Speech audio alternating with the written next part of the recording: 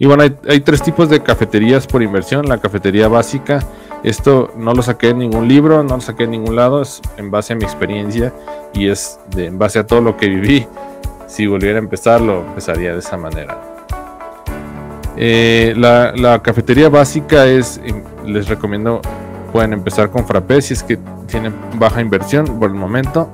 Después brincarse a la, a la, a la inversión media, que son métodos artesanales y la inversión avanzada son máquinas de expreso.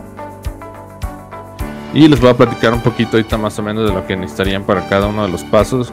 Para la cafetería básica, eh, les recomiendo que tengan dos licuadoras. No necesitan la licuadora más cara del mundo. Pueden tener dos sosteristers. Dos sosteristers. Lo, lo, que sí deben fijarse es que sea de mínimo 600 watts.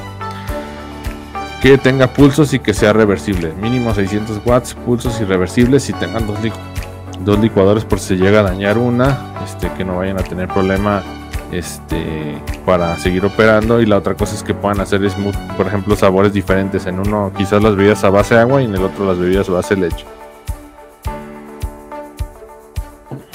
Eh, van a estar una báscula.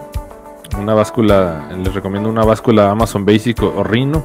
Estas básculas deben de tener separada la base que mide la plataforma que mide del sensor de medición, eso ayuda a que la medición sea mucho más estable. Sale, hay unas básculas que toda la báscula completa es el sensor de medición y eso te afecta mucho a la larga porque cuando tú estás manipulando la báscula, si tú presionas un botón vas a ver que la medición se cambia. Entonces son mucho más estables este tipo de básculas y la verdad que son una bendición estas básculas digitales.